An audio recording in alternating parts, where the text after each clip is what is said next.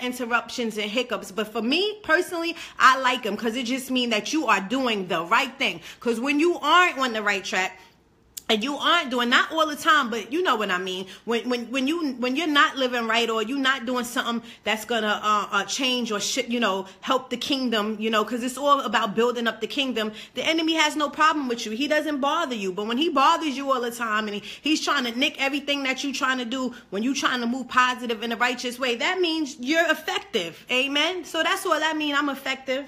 I love it. I love it it's all good.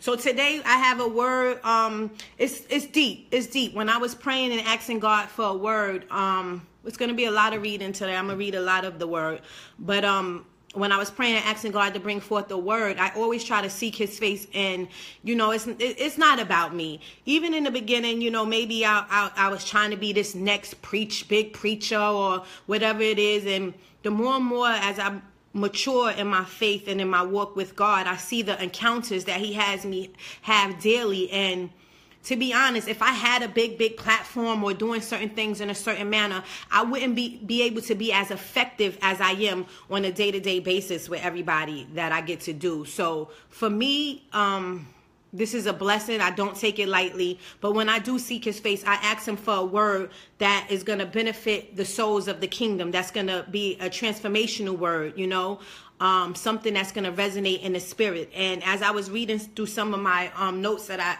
previously took, because I'm always in the word and always taking notes, I ran across um, the story about Stephen. And, um, you know, some say Stephen, most say Stephen and um, I had came across these notes that I had wrote previously in it, and it's you know basically the title is this isn't for me. This isn't for me. Going through the fire to someone else, going through the fire so someone else won't get burned. This isn't for me. So, you know, I um spruced it up a little bit and you know, this was like um uh, maybe I want to say a year or two ago when I wrote this, and you know I did some more uh, um, reading because you know we need to be reading ourselves, and and I just want to encourage you all to. It's great that we all get together and we do this, but I want to encourage you all to to read the Word for yourself, to get to know God for yourself. Um, the Bible, uh, my kids call it what they learned at our church, um, basic instructions before leaving Earth, and that is so true. You know everything we need. I mean, from money to relationships to storms we're going through to faith, you know, to strengthen our faith, day to day things, day to day things. I'm talking about even through the littlest things, even for those people that are married and having orgies and, and inviting people in the bedroom. Hello? They talk about that too. You know, it, everything that pertains to this world the Bible talks about. So I just want to encourage you all to read the word, get to know God for yourself because anybody can preach anything to you. I can say anything to you and manipulate the word. Your pastor, believe it or not, can say anything to you and manipulate the word. So it is powerful and it's essential to life that you read the word of God for yourself, that you get to know him for yourself because you can't really have that real encounter, that real intimacy until you pick up the word of God and read them for yourself. And you know, I get a lot of times people say, "Foul, I, I, I just don't understand it when I do pick up the word. I, I don't know what is, you know, what it's saying and what it's pertaining to." I always try to tell people either you, you know, start from the beginning or go to Proverbs because Proverbs is the book of wisdom. You know, um, David's son Solomon, he was very wise, and it gives you um, an insight on how to use your wisdom and how to understand the word of God. And the best thing to do before you read the Bible, and this is the best thing to do, is to pray.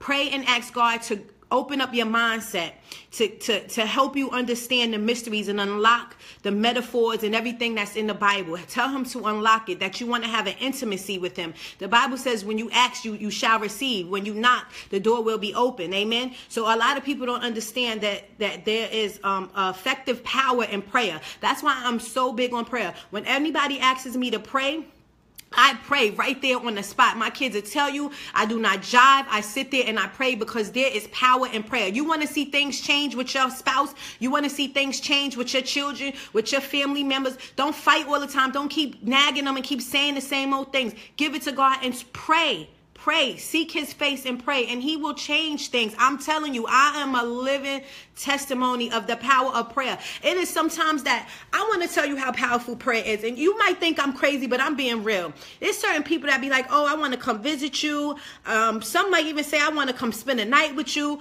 or uh, I'm down and out on my luck. I want to live with you. And this is deep right here. And I ain't being funny, I'm being real because how many of you guys know I'm not no phony person. Even before I got saved, one thing about me, I'm real. I'm not gonna, I'm not gonna jive. You know what I'm saying? And um, before they would come, I would pray. And I would say, God, um, if they're not coming with the right intentions, if um, you know, if they're gonna be a distraction and not adding to the kingdom and try to distract me for what you have doing, or you know, take my peace or the children's peace, you know, um, Amen. I'm so glad your connection is back. I say, don't don't allow them to come or you know intervene. Show me, you know, give me discernment. Show me what their motives are. And um, amen. Sometimes they won't call, they won't show up. They'll be like, um, something came up, I can't come.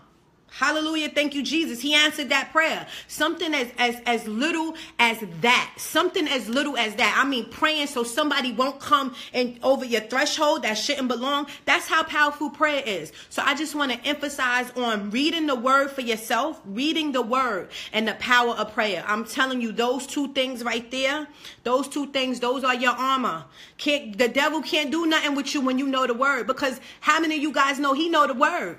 When he, when, when, when, when Jesus was in the wilderness and the Bible said he was led to be tempted. You know, sometimes the Lord allows certain things, you understand, so we could be strengthened in our faith. Amen. So when he was led to be tempted, um, the devil knew the word. He spoke the word to him. He was testing him with the word. So you got to be real careful. This is a spiritual warfare that we live in, you know, and I'm not trying to scare people that's not really in too deep with the word, but it is what it is. It's a spiritual warfare. You have to be careful because the the the deception is real, you know, and, and um you get caught up. You get caught up. That's why I say know your word so you know the fruit Good morning, Tyrone. Good morning. Good morning.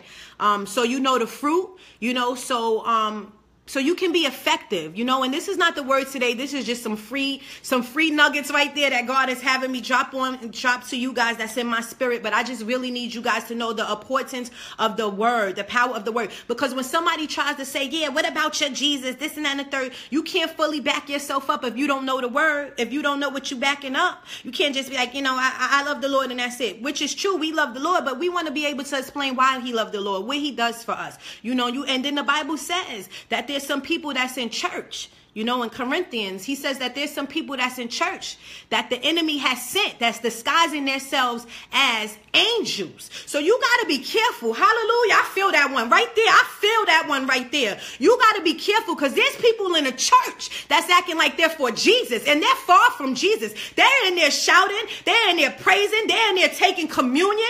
Amen. And their hearts are far from the Lord. So you want to be careful. You want to read that word for yourself. You want to get to know Jesus for yourself because you don't want to be deceived. Amen. So we're going to get into the word because I know everybody has to go to work. And um, I know for me, my children are off, but you know, people got things to do. So again, we're going to, this, this title is, This Isn't For Me. We're going to start with Acts um, chapter 7. I'm going to read verses 54 to 60. Before I read, I just want to give you a little bit story behind it. Basically, this is Stephen. Some say Stephen, most say Stephen. Um, the Jews um, had captured him. He was a, a, a mighty man of the Lord. Um, he did miraculous things on account of God. He spoke um, wisdom on account of God. And you know, um, how many people know that the Jews, the religious people, not the people who have an intimacy and a relationship with Jesus, but the religious people always want to cast a stone. And um, you know, they they they try to they captured him and um they they wanted to kill him. They wanted to kill him because of the things that he was speaking, because it goes against with the things that they were doing. And they even went as far as um read your Bible. Um, they went as far as getting some people to conspire against him and and make lies towards him so they can capture him. You understand? Sometimes how what, he come to do? Kill, steal, destroy. So uh, uh, uh, and, and, lie. So you know those are the the attributes of the devil. So um you know they they they captured him and and and um was trying to take him to throw him in prison and however and um you know um was forced execution um against him and he basically was telling them how every time a righteous person comes, a prophet comes, that they're always against him. You know, he started giving them a list of things of all the forefathers that came before him, even Jesus, and how they was against him. So now right here, we're looking at the stoning of him. It says, when they heard this, they were furious. That's when he started telling them about themselves. They were furious and gnashed their teeth at him. But Stephen, full of the Holy Spirit, looked up into heaven and saw the glory of God. And Jesus standing at the right hand of God. Look, he said, I see heaven open and the Son of Man standing at the right hand of God. At this, they covered their ears and yelling at the top of their voices. So they don't want to hear him. How many people know nobody wants to hear the truth? Everybody wants to be lied to. Everybody loves that manipulated word. Nobody loves spirit and truth because when you have spirit and truth, you have to be accountable for how you're living. Anyway, um, they covered their ears and yelling at the top of their voices. They all rushed at him, dragged him out of the city, and began to stone him. Meanwhile, the witness laid their clothes at the feet of a young man named Saul. While they were stoning him, Stephen prayed, Lord Jesus, receive my spirit. Then he fell on his knees and cried out, Lord, do not hold this sin against them. When he had said this, he fell asleep, and Saul was there giving approval to his death. Mm, mm, mm.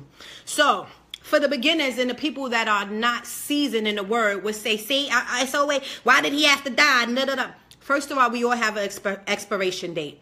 We all have an expiration date, thanks to, you know, Adam and Eve. That's a whole nother story. But we all have an expiration date. But how many do you know that we all have a purpose? The Bible said we are uniquely made. Each and every one of us have a purpose. So for Stephen, he lived this purpose. Amen. He was a mighty man. He um he spoke the word of god. He actually he the bible say he did miraculous things. So that means that stephen probably was healing people. He probably was calling things that that wasn't seen as as so as if they was seen. You know he had power. So when his time came he died for the sake of the word. Amen. So he lived a purpose okay? And that was his ending of, of, of, his demise, but there was a purpose there, okay? Sick, the connection is weak. That's because this word is fire right here, but we're going to talk it through anyway. Jesus, Jesus, Jesus. So, being that he was stoned, the Bible says that Saul, a young man named Saul, was there.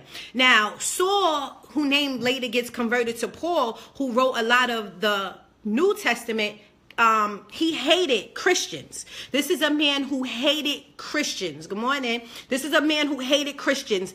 And, um, you know, anything he can do, killed them, ridiculed them, whatever he had to do to demolish a Christian, that's what he did. But how many of you know that sometimes what you go through, it's not for you? Okay, so as Saul, as Stephen was being uh, um, stoned to death, um, Saul was there, who later name is transformed to Paul. He was there. So he was there for a reason. It wasn't a coincidence, okay? Things don't happen to us just for a coincidence. And what I love about Stephen, even at the time of his death, he knew that he was going and, you know, he saw heaven open. He saw God, God was pleased with him. Jesus was standing right by the, by the right hand side of God and, and he, and he saw them before he was going into his glory. And he still had the time to say, hallelujah Hallelujah. Thank you, Jesus. I feel God on this. He still had the time to say, God, please forgive them.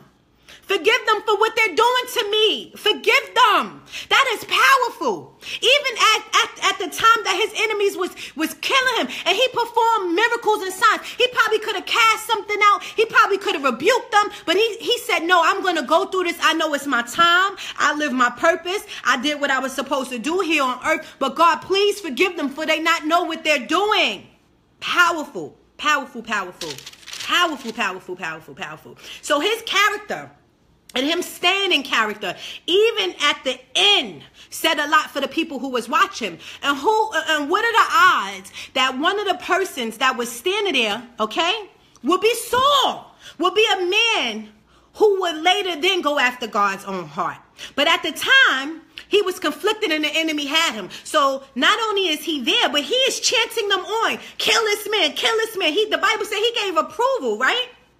So now we're to go down to Acts chapter 9 like I said, I'm going to be reading a lot because it's not all about, you know, a lot of preachers and teachers, uh, uh, evangelists, they get caught up in wanting to hear they self speak. It's not all about us sometimes. It's the power of the word. So now we're going to read Acts 9. It says, Meanwhile, Saul was still breathing out murderous threats against the Lord's disciples. He went to the high priest and asked him for letters to to the synagogues in Damascus so that he found any any there who belonged to the way whether men or women he might take them as prisoners to Jerusalem. As he neared Damascus on his journey suddenly a light from heaven flashed around him. He fell to the ground and heard a voice say to him Saul Saul why do you persecute me? He said he says who are you, Lord? Saul asked. So now this is a man who was living for the devil, right? He was killing and trying to persecute anybody who loved the Lord. He was so he was so uh, uh, motivated and, and, and um, ambitious about what he was doing. He went to the priest and asked him, "Give me letters. I need to know who's who's in this town, who's who's loving God. I don't care if they're men, women, whoever, right? This is how uh, uh, uh, uh malicious this man was, right?" But look how, and this is what I love for the people who say there's no power in the word, for the people who act like they don't know Jesus, you have a real encounter. Let something happen to your children, your family members. Let something happen to you. Let you be toe to toe with God. The first thing he says, Who are you? Lord? He knew. He knew it was God he was having an encounter with. Amen. He knew. He knew. He knew. Even though he was killing them, even though he was at, he, he was the devil had him so much, the enemy knows who the Lord is. Amen. So there's power in the word. He knew. And then it says, I am Jesus, whom you are persecuting, he replied. Now get up and go into the city, and you will be told what you must do. The man traveling with Saul stood there speechless. They heard the sound, but not see, but did not see anyone. Saul got up from his got Saul got up from the ground. When when he opened his eyes, he could not see nothing. So they led him by the hand in Damascus. For three days he was blind and did not eat or drink anything. In Damascus, there was a disciple named Ananias. The Lord called to him in a vision, Ananias. Yes, Lord, he answered. The Lord told him, Go to the house of Judas on Straight Street and ask for a man from Tarsus named Saul, for he is praying. In a vision, he has seen a man named Ananias. I'm probably chopping up the names, but it's all good. Come and place his hands on him to restore his sight. Lord Ananias answered, I have heard many reports about this man all and all the um, harm he has done to your saints in Jerusalem. And he has come here with authority from the chief priest to arrest all who call on your name. But the Lord said to Ananias, Go, this man is my chosen instrument to carry my name before the Gentiles, who are you and I, the kings, and before the people of Israel. I will show him how much he must suffer for my name's sake. We're going to stop right there. Whoa. Mm, Jesus, Jesus. That is powerful it's so much in that we can't even touch. So I'm gonna stay. I'm gonna stay focused on the word. I'm gonna stay focused on this. Isn't for me. Okay, so now the Lord has blinded him. He can't see. Now he's trying to show him not only not only did he uh, have an encounter with him, now he, he needs a miracle. Amen. So how many people know there's power in your accounts and your encounter with Jesus? So now he needs a miracle. He needs to, he, he, he, you know, God wants to show him his power and how effective he really is and why the saints really was praising him. Amen. He wants to show him these people that you were killing, these people that you were tormenting, or because of my name's sake, this is why they were following me. This is why they love me. Here goes your accounts, and now you're going to endure some of the things that you were doing to these people. You're going to endure it, okay? Oh, Jesus, Jesus, Jesus, Jesus, Jesus. I want to tell you something. Life isn't fair. Life isn't fair. And everything that happens, it, it you know, we always we want to blame somebody. And everything is not oh god oh god oh god you know? And um, sometimes life is a result to the things that we do the people that we around. And sometimes you know it's the enemy. And you know and, and most of the time god allows things to manifest because sometimes it's not even about you. It's about who is watching you who is around you. Hallelujah. Thank you, Jesus. Thank you, Jesus. We don't never know who's around. We never know who's watching. And how you handle your day to day situations, how you handle the things that you are going through will strengthen somebody else that needs you. Okay? Who, what are the odds that when Stephen was taking his last breath and he was being ridiculed and, and, and he and he was and, and he was about to die, that Saul would be there. And I believe in my heart why God had Saul them was to show him how much people love him and the extremes and measures that they will go for on the, on the sake of him. So when he had his encounter, he now can relate to why Stephen reacted and did the things that he did. Why did why he stayed in character and he knew that the Lord, even to his death at his back. You understand what I'm saying? It was very important that he was there at that time. So when he when when when when Saul, later named Paul, had his encounter, it all made sense to him. Amen. And now this man who once killed Christians and ridiculed Christians, now he has an encounter, and now he's on the same path and has to endure that. Okay. You never know why people are watching. When, when, when God called my husband home, people wanted to see how is this girl going to handle that? This girl's not even 30 years old. She has three children. This man was getting all that money. They was living that lavish life. How's she going to handle that? What's she going to do now? What's she going to do now? But by the grace of God, I handle that in some. And, and, and, my, and, some might say I'm living better than I was living when my husband was around. Amen. Don't get me twisted. I miss my husband. I miss my man daily because that man, that's why I, to this day I'm by myself. Because those, those shoes, those are some big shoes. I had a good man through the ups and downs, took care of me. Okay? Through the ups and downs. But glory to God that the strength that God has given me the peace that God has given me, the beautiful children that God has given me from this journey, I was able to endure that through the strength of God. Hallelujah. Thank you, Jesus. And those that are watching, those that see the power, see the things that God has did through me, are able, are able to live, are able to breathe, are able to be restored because they see what I endured. Hallelujah. This walk ain't easy. This ain't an easy walk. But I endured it and I keep my head up and I trust in God wholeheartedly.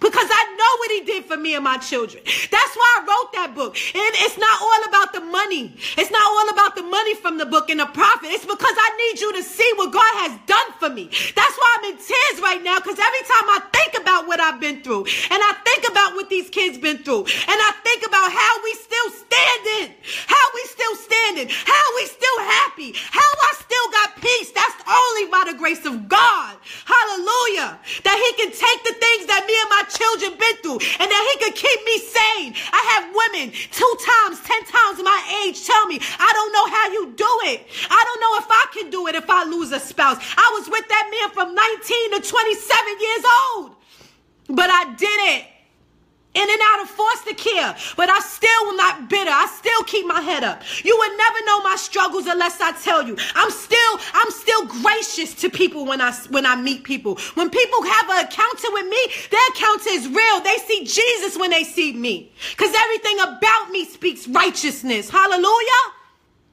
Everything you go through, sometimes it ain't just for you. Stop always saying, why me? Why me, God? Yes, you. Why not you? Why not you? Why not you? You keep saying, God, use me. You keep saying you want to be effective for the kingdom. Then you got to go through some things. You got to go through some things. And God's going to walk you through it. He going to be there for you. He going to be there for you. But you want to be effective? You want to you want to be you want to have your part in the kingdom? What you think it's to be peaches and cream?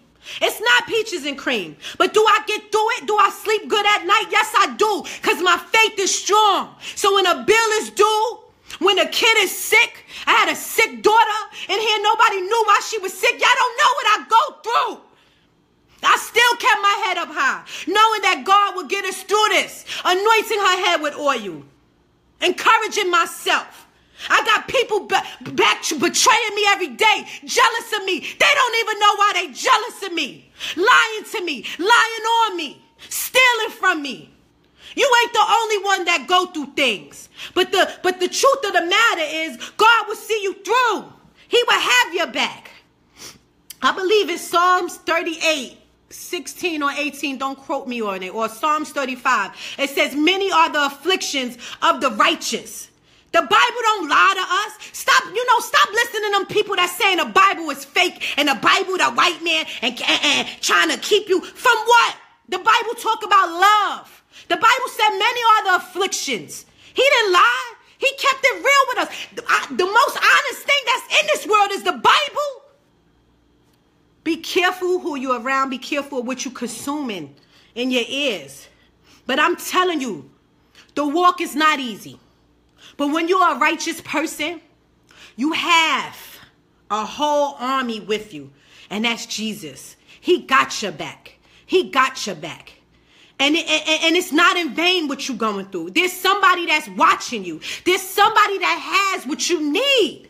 It's somebody that has what you need. So put that S on your chest. Count it all on joy. And know that you will get through it. Know that you will get through it. If I didn't have the testimony that I have, how can you be healed? How can you see how good God is if I didn't go through the things I went through? So don't be feel pity for me and my children. Don't be like, oh my gosh, you know, yeah, I, I feel bad sometimes, you know, that they father in the physical isn't here. But we don't, you know, not to be funny and say anything, we don't know what's in somebody's heart. We don't know what they bring to your future and what they don't. But I do know that the time that I had with him, it was a great marriage. The children know that, you know, their mother wasn't shacking, that the boys know to marry their wives. My daughter knows to get married to hold out. Amen? Because how I carry myself and how they seen their father do for me. But if I didn't endure what I endured and God didn't get me through it, you wouldn't believe nothing that's coming out my mouth right now. You would think that I'm jiving. But because of the things that I went through, because of the struggle that you have seen me go through, you know this is real. You know only by the grace of God that I'm standing here. Amen. So remember, it's not for you all the time. Sometimes it's for who's watching you. Many are the afflictions, but the Bible says he rescues you from all, not some, not maybe, from all. And look how the Bible never lies. The Bible says that the Lord will make your enemies your footstools. How did he turn Paul? Hallelujah. Thank you, Jesus, for this revelation. Thank you, Lord. How did he turn Paul? Saul, who later name was Paul, who was the enemy, who was crucifying Christians. How did he turn them and he ended up being their footstool? Hallelujah. He turned Paul into the Christian's footstool. He was the voice of the Christians. He turned the enemy into an ally who ended up willing to die for the word of Christ. There's nothing that is impossible with God. There's nothing that is impossible with God. But you have to trust, you have to believe Him. You have to believe in the word. Just like you can keep believing those no good people that keep doing you dirty day in and day out. Trust in Him. You have nothing to lose and everything to gain. You have nothing to lose and everything to gain. Trust me. I am living proof. That's why I put that post that I put up last night. You can say what you want about the word of God, but what are you going to do with me? What are you going to do with me? The person that had an encounter, the person that see miracles in day in and day out, the person that allows the Holy Spirit to lead her and reside in her. What are you going to do with me? What are you going to do with me? What are you going to do with my children who believe in God, who times keep me going? What are you going to do with me? What are you going to do with me? Huh? Jesus. Thank you, Jesus. I'm getting beside myself because y'all don't know. But if y'all get a hold, y'all would know what I'm speaking. Y'all would get it. Because I'm telling you, Jesus is real. This walk is real. This that you see, life is real. Look at Trump. Look at all of the things that's going on. It's in the Bible. It's not a game. It's not a game. After a while, you're going to have to choose. Amen. Father Jesus, I come to you right now, Lord, and I thank you for this powerful word that you gave us. Lord, I thank you that, and I pray that it may resonate in the spirits and the hearts of everybody that's watching.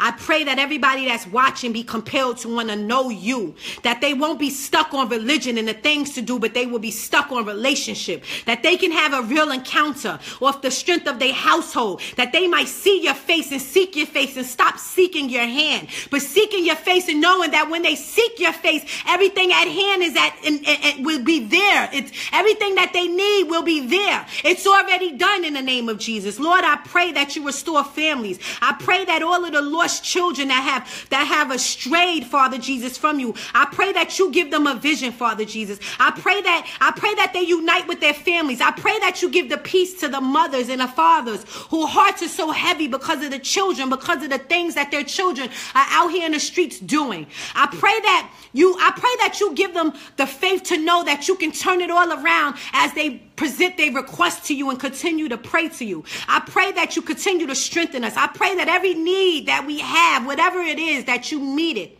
In the mighty name of Jesus, we thank you that we came together. We thank you that no matter what this country shows, no matter what this nation does, that we're still in a nation that we can come together on Facebook Live and that we can pray and that we can speak the word of God freely and won't be ridiculed and won't be stoned for it, won't be captured for it. So we thank you for just having the, just blessing us with freedom. In the mighty name of Jesus, amen. God bless you guys. I pray in my soul that this blessed you. It's not about you. It's not about you all the time. It's about the person who is watching. And whatever that you are enduring, whether it's sickness, whether it's bills that need to be paid, a cheating spouse, whatever it is, know that God has your back. I can't wait to next Tuesday to see what God has um you know, to speak through me.